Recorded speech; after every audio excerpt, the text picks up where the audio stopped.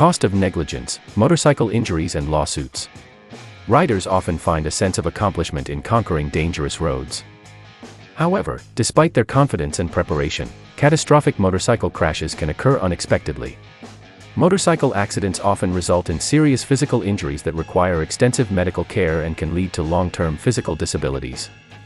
In addition, motorcyclists may lose their income due to time off work, as well as suffer from emotional distress and psychological trauma. Having a thorough understanding of your legal rights is key if you've been injured in a motorcycle accident due to someone else's negligence. In this article, we will discuss everything you need to know about motorcycle injuries and lawsuits.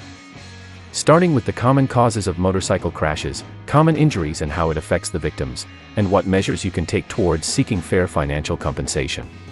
Choose an attorney you can trust. Have you or a loved one been the victim of a motorcycle accident? You have legal rights to seek compensation or file a lawsuit against the at-fault driver for negligence. At Motorcyclist Attorney, our award-winning personal injury lawyers are highly experienced in litigating lawsuits for such victims. We fight to get you a maximum settlement and handle all paperwork.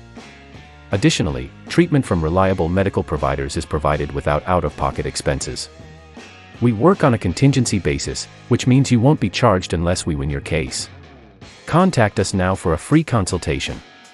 Our team speaks English, Spanish, and Filipino.